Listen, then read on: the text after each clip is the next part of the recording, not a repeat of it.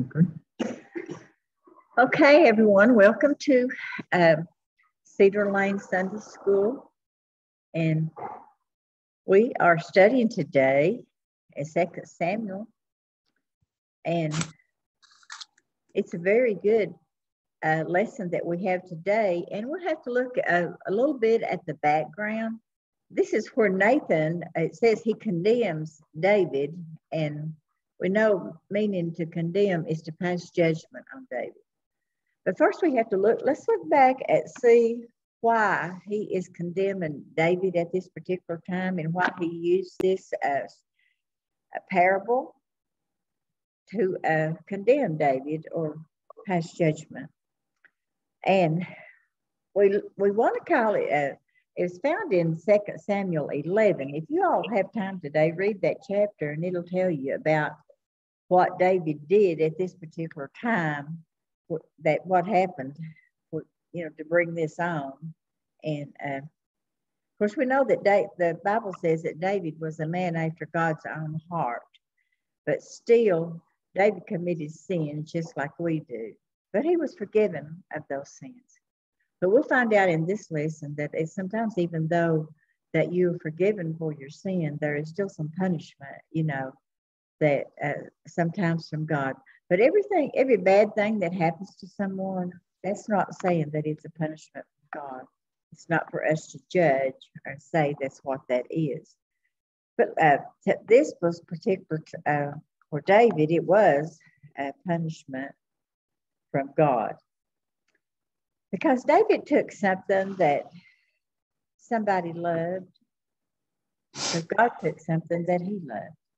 Now, what it was, David, David and Bathsheba, and I know you all have probably heard this story, and I did look up what a story meant. I thought, oh, is that a fairy tale? No, a story is uh, an account of something that's happened in the past. So it reminds me of, uh, I thought of this when I was studying this lesson. My little granddaughter, Mackenzie, she would say, when she'd spend the night with me, she'd say, Mimi, tell me a story about long ago. You know, when I used to tell, when we go to bed, she wanted me to tell her a story about long ago. And I'd tell her things that happened to me when I was a child. She loved that. Sometimes I would make some up, you know, but that going through the woods and this and that and the other. But uh, I mostly told her things that had happened to me when I was a child. And I miss that. She's 14 now, and she don't want to hear Mimi's stories about long ago. But anyway, David, most of the time the kings go to war. But at this particular day, he didn't go to war with his soldiers and he stayed home. Mistake number one. And so he was on the top of the palace walking around and he could probably see everything because I'm sure it was a high place. And he looked down and he saw this uh, beautiful woman, Bathsheba, and she was bathing. And uh, so he really liked her. And he sent someone to see who she was. Well, they told him who she, who she was, that he was, uh, she was the wife of one of his, uh, I guess. Yeah, in his uh, army, a leader in his army. Yeah. And so his name was Uriah. And uh, so David took her, you know, Uriah was gone off to battle. So David took her to be, well, he didn't, she wasn't his wife yet, but they committed adultery and she became pregnant. Well, David, now this is sin number two, but that was sin number two. He gets himself in a lot of trouble here. You know what it reminds me of? First, we practice to deceive. What is it? Oh, what a tangle web we weave when first we practice to deceive. Now, this is what happened to David here. He was just getting more and more and more in trouble here. But anyway, he uh, tried to tried to get Uriah to come home, and Uriah came home. He tried to get him to go to his house and be with his wife so they'd think the baby was his. Well, Uriah wouldn't do it. He was a dedicated man. He said, My my uh, soldiers are sleeping out in the fields and in tents. So why should I go home and them not have the comfort of home like I did? Well, David got him drunk. And that still didn't work. So he didn't go home to sleep with his wife. So David, this is the worst thing he did. He told his uh, captain of his army, he said, put Uriah on the front lines of the war, you know, the fighting, so he can be killed. And I can have Bathsheba, you know, so that's what happened. So now we are up to this point. And we're talking about here that uh, someone that has a whole lot, but they want something else. Maybe for somebody somebody that doesn't have a whole lot, they want it, you know. And that goes on today also, not just in this this uh, Old Testament. It goes on today. I tried to think of some good examples, and I I really couldn't think of any. Y'all might have an example, you know, that you're thinking of that where someone uh, just didn't have enough, you know, and they wanted what somebody else had. And, huh? well, no politics, no politics. No. well, there is, I didn't think of uh, no politicians, but, you know, I thought of people that even with uh, our day and time, we have plenty in this country. And but do we help someone that doesn't have plenty? Not that we take away from, but I think the lesson here too is for us to share with what we have also. And David, though, he had all these wives and other women, and but still he didn't have enough. He wanted Uriah's wife, and so he took her.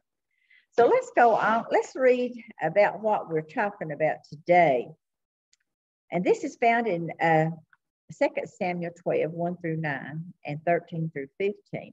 But really and truly, you need to read this whole chapter because it will really tell you more. David wasn't just punished by losing his son. He lost all of his wives, and you know, they the Lord gave his wives to everybody publicly. And so anyway, let's go on. But you'd have to read the 12th chapter of, of Samuel to find that out, the whole 12th chapter. Okay. The Lord sent Nathan to David. And listen to this. Can you imagine now? And I have had to do this. Going to your boss and telling them something that they have done wrong and you don't know what's going to happen or am I going to get fired? And here in this case, he didn't know if he was going to get killed, you know. And the prophet Nathan hadn't been, I didn't know about that until I read in my lesson that Nathan hadn't been heard of, of until this time. I didn't know that. Anybody else know that? that? But and a prophet had to tell people about their sins. That was one of the, uh, one of their, well, you'd call it a job. That's what he was supposed to do. So he went to, to David telling him about his sin, not knowing what was going to happen to him. And so it reminds me, uh, I'm sure he had to pray and ask the Lord to help him through this. Now, this is a little bit of an example of me that where I had to really pray and ask the Lord to help me. It wasn't, I won't tell you what I had to tell my boss wrong because it's not very good for me to tell that. But uh, this reminds me of the time that when I was in uh, my Baptist church, I was working the Women's Missionary Union, and I was the assistant director of the whole uh, association. And it, my, one of my jobs was to once every once in a while we would have a Bible study. I mean a book study. And one of my responsibilities was to teach this book. And believe it or not, people, I would not get up in front of anybody and say anything. I was so backward. But I had come out of my shell a little bit. And so it became my time to teach this book. And I'm not just talking in front of a bunch of women, it's a whole church full of pastors, and everybody was there. And this is how I know that Nathan, how Nathan felt when he had to pray and ask the Lord to help him through this. It has nothing to do with being killed or anything like that. But to me, that was really, really something hard for me to do. But the Lord did help me through that. Of course, I probably did a lot of reading, you know, because I was, and probably quivered voice and all that. But anyway, what my point is, if you pray and ask the Lord to help you, just like in Nathan's case, he will help you do what you have got to do, whether no matter how scared you are. Just like the time one time the preacher at this my Baptist church, be it wasn't real, probably about this size, asked me to dismiss in prayer in the altar, and I had never done that. All I'd been ever said was the Lord's prayer. I thought my knees would not hold me up, but the Lord helped me through that. So let's just keep that in mind. But anyway, we're not going to get all this done if I don't go on. It says, now here's what Nathan told him. There were two men in a certain town, one rich and the other poor. The rich man had a very large number of sheep and cattle, but the poor man had nothing except one little ewe lamb he had bought. He raised it, and it grew up with him and his children. It shared his food, drank from his cup, even slept in his arms. So it was like a daughter to him. So he's trying to tell David here how, here how much he thought of this little lamb. Now, a traveler came to the rich man, and I thought this was really terrible.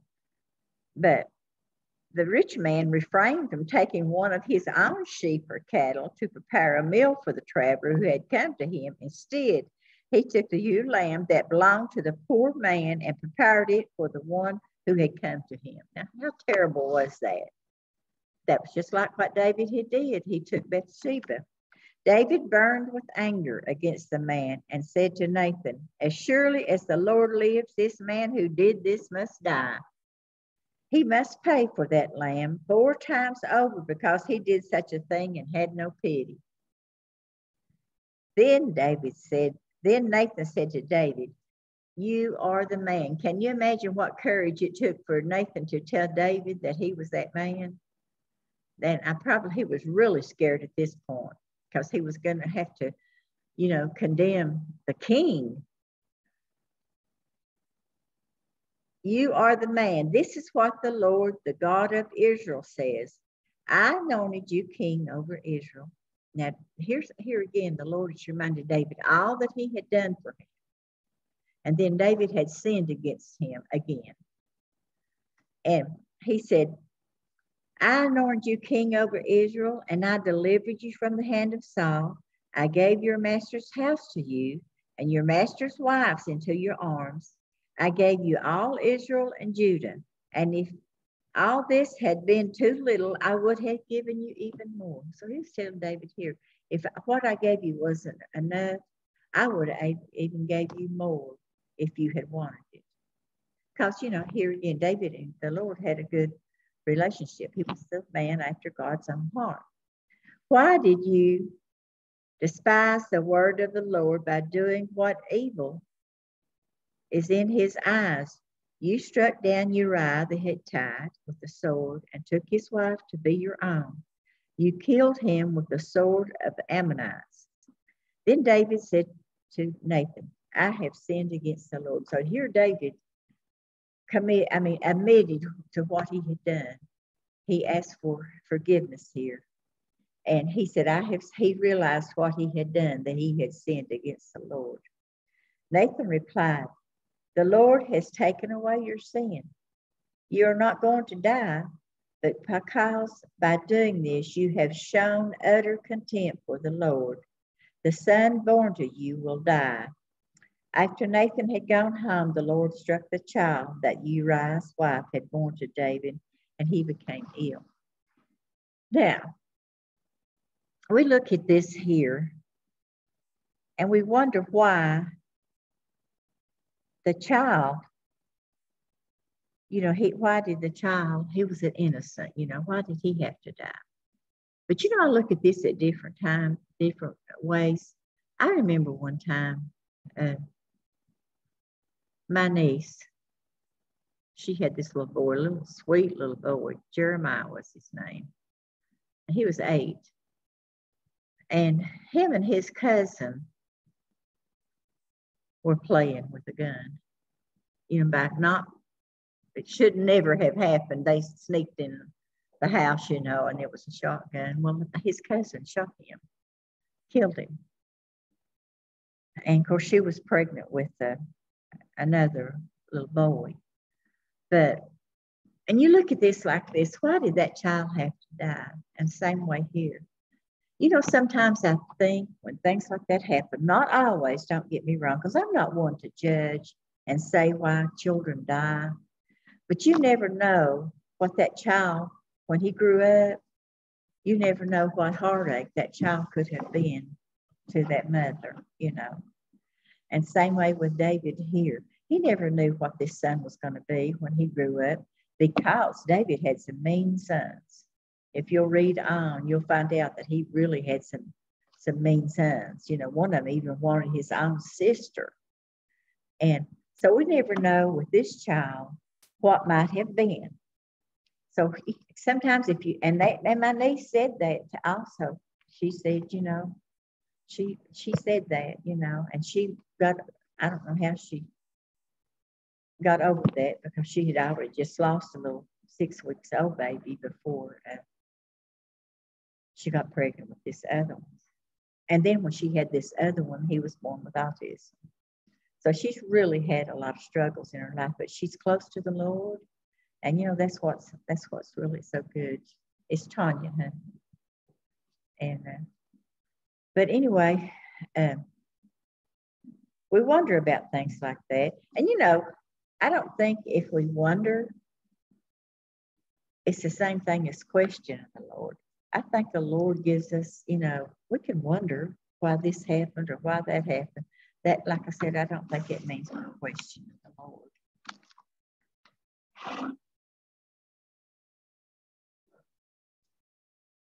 I'm about to come to a close, Danny. I was wondering if anybody else has anything to say on this list. Just read the 11th and 12th chapter. And you know, uh, if you get back in the Old Testament and you begin reading the Old Testament, you find some real interesting things out. Things you wouldn't be, you'd be surprised that are in there. But, uh, you know, this one, there was something in my book that I wanted to read about am I am I guilty? Says we frequently have children on campus, so we all need to slow down in our driveway and parking lot. I, I nodded in agreement as I read the email from the manager, facilities manager. I had seen co-workers driving too fast around the road that curved to our office. I tried to suppress my irritation why can't they just slow down? A few days later, I pulled in the parking lot in a rainstorm. I saw headlights in my rearview mirror as I parked. The facilities manager was leaning his head out the window as I stood in the rain. David, you need to slow down. So he didn't think that meant him, you know, it means everybody else. And I'm so guilty of England of saying that. We see somebody breaking the law or, you know, it says, and this is really what irritates me. And I'm awful. You know, when you're coming back here, it says right lane ends. Now, these people that stay in that right lane and come up and try to get in front of me, no, don't you try. You have had plenty of time to get back there like I did, you know. So anyway, I think that some people, just like this person here, he didn't think, he said flabbergasted. I mumbled an apology and retreated myself. It had never once entered my mind that the warning email might apply to me. So, you know, that's the way, and, you know, I think some of, all of us sometimes to that point might be that way, you know. I always tell my uh, children, they didn't want to hear it. And I'm I try to do this. If it says 65 miles an hour, I try to go 65 miles an hour. Not not 70. I know you can go five miles over and it's okay. But you know, the law is meant for all of us. When you're going through a construction site, 40 miles an hour, they have that up there for a reason, you know, because it could save your life and one of the workers' life, you know. And I don't, this was in here in my lesson, and I don't know why, because it had nothing to do with David. you're right. But anyway, I just thought it was something that I wanted to bring up. Well, I guess that's all I've got today. I hope you all have enjoyed this lesson. I enjoyed studying it and reading back in the Old Testament. So just try to read the 11th and 12th chapter of 1 Samuel.